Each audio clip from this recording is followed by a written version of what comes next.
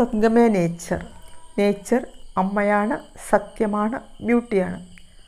അപ്പോൾ വരുന്നു ഗസ്റ്റ് അതെ കേരളമെന്ന നമ്മുടെ കൊച്ചു സ്റ്റേറ്റിനെ ഞെട്ടിച്ചുകൊണ്ട് വരുന്നു ഗസ്റ്റ് എന്ന ചുഴലിക്കൊടുങ്കാറ്റ്. അങ്ങനെയാണ് അതിനെ ശാസ്ത്രകാരന്മാരെ വിശേഷിപ്പിച്ചിരിക്കുന്നത്.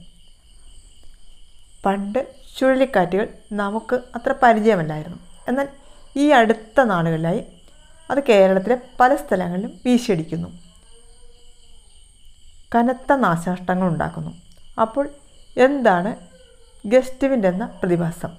ഒരു പ്രദേശത്തെ മാത്രം ലൊക്കേറ്റ് ചെയ്തുകൊണ്ട് കണ്ണടച്ച് തുറക്കുമ്പോൾ രൂപപ്പെടുന്ന അതുപോലെ കൊടിയ നാശം വിതച്ചുകൊണ്ട് പോകുന്നതാണ് ഈ ഗസ്റ്റ് വിൻഡ് എന്ന ചുഴലിക്കൊടുങ്കാറ്റ് ഈ പ്രതിഭാസം മണിക്കൂറിൽ എൺപത് കിലോമീറ്റർ മുതൽ നൂറ്റി എൺപത് കിലോമീറ്റർ വരെ വേഗത ഉണ്ടാകുമെന്നാണ് പറയപ്പെടുന്നത്. ചിലപ്പോൾ അത് ഏതാനും സെക്കൻഡുകളോ അല്ലെങ്കിൽ പത്ത് മിനിറ്റോ വരെ നീണ്ടു നിൽക്കാം. ഇത് പെട്ടെന്നുണ്ടായത് കാരണം ഇതിന്റെ വരവ് മുൻകൂട്ടി അറിയുവാൻ സാധിക്കുകയില്ല. അപ്പോൾ അതാണ് ഇതിന്റെ പ്രത്യേകത. എവിടെയാണോ അന്തരീക്ഷ മർദ്ദത്തിൽ കാര്യമായ വ്യതിയാനം ഉണ്ടാകുന്നത് അവിടെയാണ് ഗസ്റ്റ് വിൻഡ് ഉണ്ടാകുന്നത്. വലിയ മഴമേഘങ്ങൾ അതായത് ക്യുമിലോനിമ്പസ് എന്ന് പറയും. ഒരു പ്രദേശത്ത് പെയ്തിറങ്ങുമ്പോൾ സാന്ദ്രത കൂടിയ തണുത്ത വായുവിന്റെ സാന്നിധ്യം കൂടുന്നു. തൊട്ടടുത്ത ഭാഗത്തുള്ള സാന്ദ്രത കുറഞ്ഞ ചൂടുവായു അവിടേക്ക് പാഞ്ഞു വരുന്നു. അപ്പോഴാണ് ഗസ്റ്റ് വിൻഡ് ഉണ്ടാകുന്നത്. അതായത് കാറ്റുകളുടെ അതായത് വായുവിന്റെ ശക്തമായ ചലനമാണല്ലോ കാറ്റ്. അപ്പോൾ കേരളത്തിലെ പല സ്ഥലങ്ങളിൽ ഇതുണ്ടായിക്കൊണ്ടിരിക്കുന്നു പ്രത്യേകിച്ച് വടക്കൻ ജില്ലകളിൽ. ഈ അടുത്ത ദിവസം കോതമംഗലത്തെ വിറപ്പിച്ചുകൊണ്ട് കനത്ത മഴയ്ക്കൊപ്പം എത്തിയ അതിശക്തമായ കാറ്റ് വൻമരങ്ങളെ കടപഴക്കി. അതുപോലെ വീടുകളുടെ മേൽക്കൂരകൾ പറന്നുപോയി.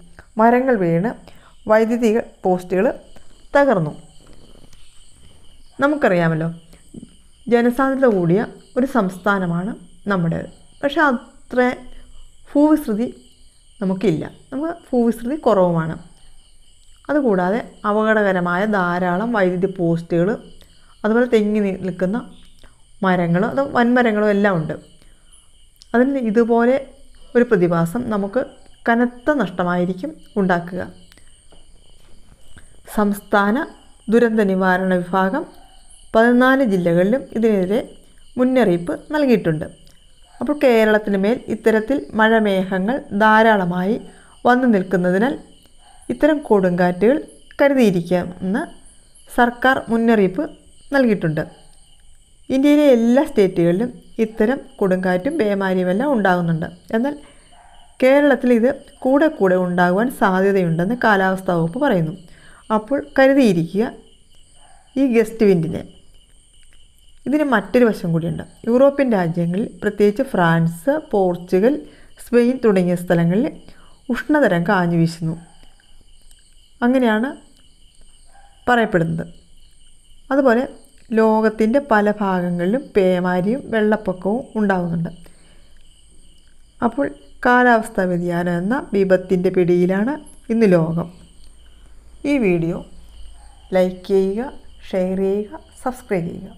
വീണ്ടും വ്യത്യസ്തമായ വിഷയവുമായി വരുന്നതാണ്. നന്ദി നമസ്കാരം.